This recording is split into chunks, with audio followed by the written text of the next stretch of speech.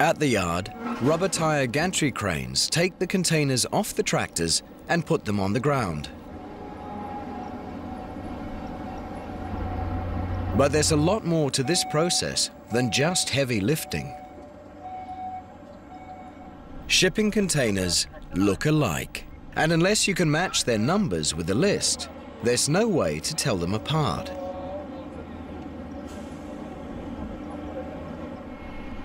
From the moment they leave the Gudrun Maersk, 3,000 containers have to be precisely tracked.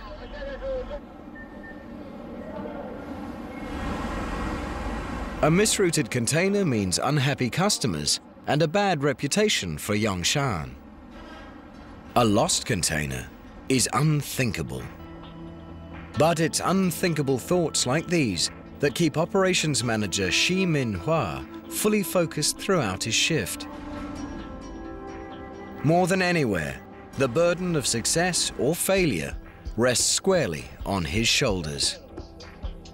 For the duration of his shift, he'll bear the ultimate responsibility for keeping the operation on time and on track. The port runs 24 hours. We are under a lot of pressure to work fast. But we try our best to fulfill our service promises to our customers. If anything does go wrong, the buck stops with Shi Min Hua. And there's plenty that could go wrong.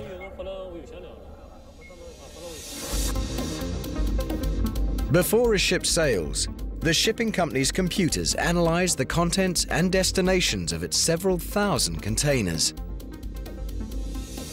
and assign every container a specific place on board. Know, the first port containers are the ones on top, and the last port's containers are on the bottom. It's a pretty complex mathematical equation. If port operators make a mistake or fall behind schedule, they might have to ask permission to load containers in places other than the ones the computer assigned them. And that's not a question a ship's captain wants to hear. Containers loaded in the wrong places will confuse unloading in the next port. Badly loaded containers could make the ship unstable on the open sea. And Yangshan's competitors, Hong Kong and Singapore, each handle over 20 million containers a year with an error rate of less than 1%. All good reasons why no one at Yangshan wants to rock the boat.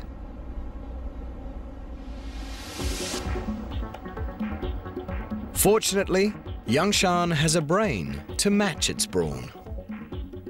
A cutting-edge control system developed by the port of Shanghai.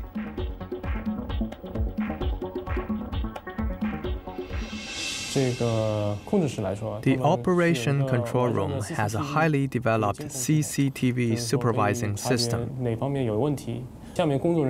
which can help to detect any potential problems. We communicate through walkie-talkie. There are laptop computers on the wharf that receive a detailed operation plan delivered by the computer system. Cranes, trucks, and rubber tire gantry cranes all have cab displays electronically linked to the port control room. So crane operators and drivers know exactly which containers they're moving when to move them, and where they go. The trucks receive wireless orders from the computer terminal in the operation control room. Portable mini computers in the trucks display instructions on what to do and where to go. The trucks we use here are some of the best. They're equipped to transport containers on the left and the right and the driver's cab has windows on three sides, which allows the driver to see a lot more.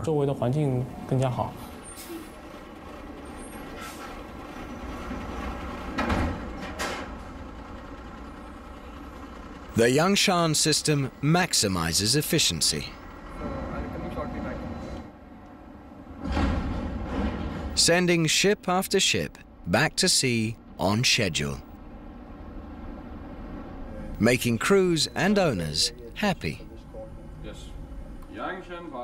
So they're trying to sail at a specific time to meet a, a berthing window at another port down the road. Delays are just not, you know, not, not acceptable. The unloading and loading goes on all night. And past the break of day. 20 hours after she docked, the Gudrun Maersk departs Yangshan.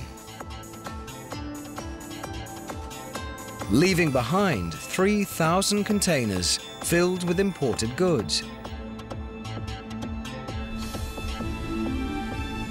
Taking with her 2,000 others filled with exports.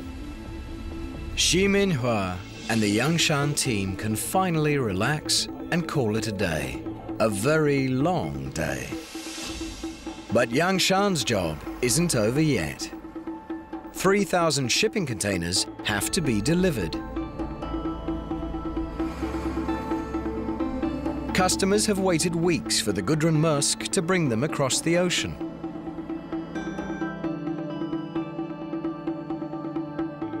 And now they're sitting on an island 32 kilometers to compete with other world-class container ports, Yangshan must move over 20 million shipping containers per year.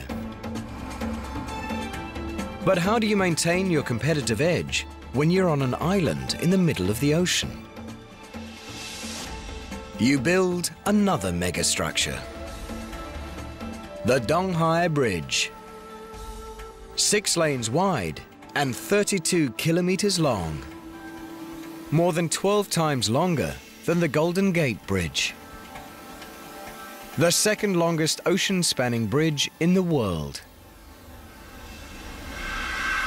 The longest is just 80 kilometers to the west, spanning Hangzhou Bay. Building a bridge this long on land would be tough. Building it over the open sea is a logistical nightmare it's not like you're a steel worker building a skyscraper.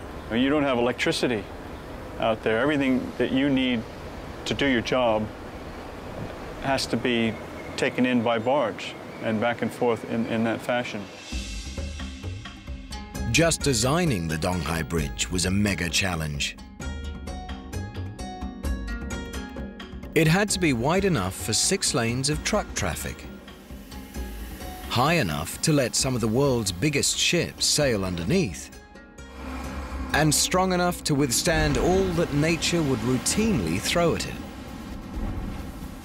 Typhoons every summer, currents ripping past at two meters per second, six meter waves. And that's just on the surface. From the mainland to Yangshan Islands, the seabed can vary in depth from 10 to 30 meters. And it's nothing but soft, unstable mud. Not a good foundation for six lanes of concrete highway, vibrating with heavily laden trucks. In cyberspace, engineers tested their bridge designs every way they could. With waves, winds, truck accidents, and colliding megaships to discover which design would best survive. In the end, they chose not one design, but two. Most of Donghai is a box girder bridge made of over 600 concrete spans. The longest spans are the length of four volleyball courts. But in two places, it becomes a cable-stayed suspension bridge with one span rising high enough to let ships pass underneath. And it spans the waters in a graceful S-curve. So ships passing under it can sail at angles to strong ocean currents.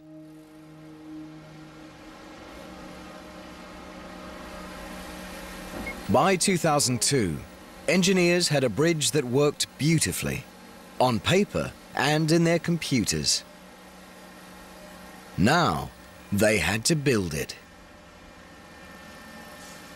First challenge. Anchor kilometers of concrete in waterlogged mud, firmly enough to stand up in a typhoon. Engineers drove over 6,000 foundation piles into the sea floor, positioning them with GPS and seven satellites within a three to five millimeter accuracy. 20 plus meters of water, down another 40 meters down below before they actually reached uh, bedrock. Next problem, how to build 600 concrete spans, some weighing over 2,000 tons. In the middle of a sea so rough, construction's possible only six months of the year. The solution was not to even try. Instead, the Donghai's builders pre-built its massive spans on land and towed them out to sea. I mean, it would be craziness to try to build the bridge, you know, piece by piece in that, in that position. And they had to actually, in the middle of the process, you know, actually construct this new barge with 1,600 uh, ton lifting capacity to move these bridge sections into position. From start to finish, nothing was routine about building Donghai Bridge, including the workers' lives. As construction moved further out to sea, massive bridge pilings did double duty as dormitories. On 10 December 2005, 42 months after construction began, the Donghai Bridge opened to traffic.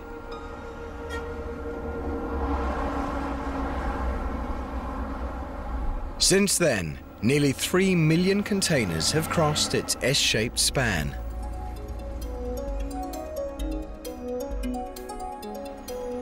Under the watchful eyes of bridge operators.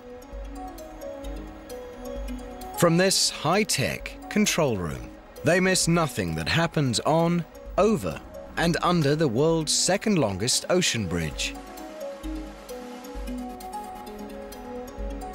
Their eyes, some 80 surveillance cameras placed along its 32 kilometer length. Electronic eyes that never close. And for good reason. The Donghai Bridge is a triumph of engineering over nature.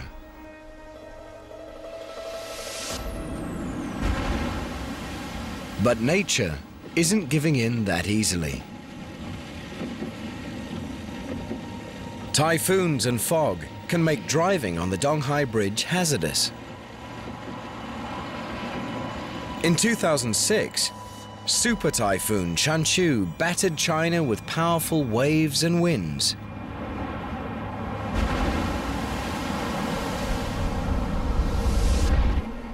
The bridge stood its ground.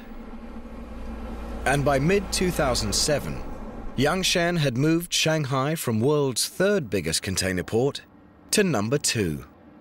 Only one million containers behind its rival Singapore. When it's completed in the year 2020, Yangshan Island will be the world's biggest container port.